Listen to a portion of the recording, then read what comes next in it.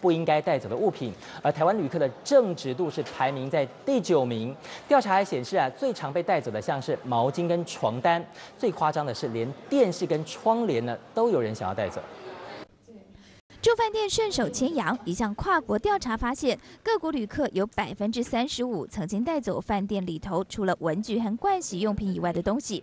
最常被拿走的包括书本、杂志、床单、桌巾、毛巾、浴袍和枕头，其他像是闹钟、台灯、电器用品也都有人带走。更夸张的是，连电视窗帘都想拿走。浴帘感觉它防水功能很好，很有兴趣。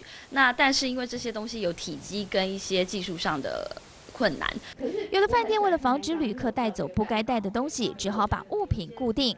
而调查也显示，丹麦、荷兰跟挪威这三国的旅客比较少拿取客房的物品。